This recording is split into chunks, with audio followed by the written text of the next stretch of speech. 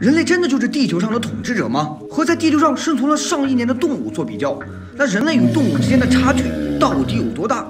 欢迎来到小马哥的神奇动物园。本期咱们一起来看看，人类从动物身上研究发明出震惊全球的顶尖科技产品。十三年前，一个叱咤全球体坛顶尖科技的运动产品啊，名震全球，它就是鲨鱼皮泳衣。二零零八年，鲨鱼皮泳衣啊，在北京奥运会上大放异彩。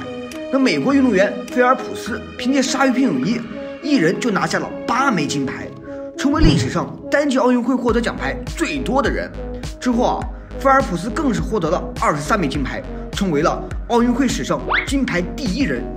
这样夸张的成绩，随之也把鲨鱼皮泳衣推上了巅峰高度。和它的名字一样，鲨鱼皮泳衣啊，就是仿生鲨鱼制造出的科技产品。那鲨鱼在海洋里的速度，那是出了名的迅速。除了自身强大的肌肉爆发力以外，鲨鱼的身体造型以及皮肤都是提高泳速的关键所在。那相比其他鱼类，鲨鱼的皮肤非常粗糙，表面布满了许多齿状凸起的盾鳞。这些表面粗糙的 V 字形褶皱啊，能减少水流的摩擦力，使身体周围的水流啊更高效的流过。鲨鱼啊也因此提升了泳速。而鲨鱼皮泳衣就是采用纤维，从而模仿了鲨鱼皮肤的结构。穿上它的运动员能够引导周围的水流，减少百分之三的水阻力，并且提高泳速，打破身体的限制。这对一向公平的奥运会而言啊，一跃成为了黑科技的天下。那这也就引来了一阵非议。最终啊，国际泳坛决定于二零一零年五月，将在全球禁用高科技鲨鱼皮泳衣，从而换取运动员一个公平竞争的环境。那第二个模仿动物制造出的科技产品啊，它就是名震军事界的超级武器。B 二隐形轰炸机，在说之前啊，咱们先来看张图纸，不知道大家有没有发现，B 二轰炸机的机体和这个鸟类惊人的相似？不用诧异，B 二轰炸机正是模仿这个鸟类完成构造的。那这个鸟类呢，叫做游隼，是地面上飞行速度最快的鸟类之一。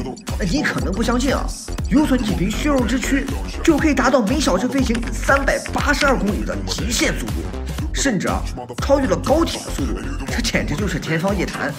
但事实啊，也确实如此。游隼的身体比例啊，堪称完美。流线型的身体可以减少百分之十七的空气阻力。它鼻子上有个小锥体，这可以使它在高速飞行的状态下，引导气流进入身体，进一步的缓冲掉空气啊带来的冲击力。咱们单从 B 二轰炸机的外形上来看，你可以很明显的看到这两个设计点。同时，B 二轰炸机也靠着仿生动物的科技，成为了军事界最强有力的武器。虽然已经问世二十年有余啊，但它仍然是全世界最致命的武器之一。那看起来啊，人们在动物身上需要学习的知识还有很多呀。关注小马哥，下期视频更精彩。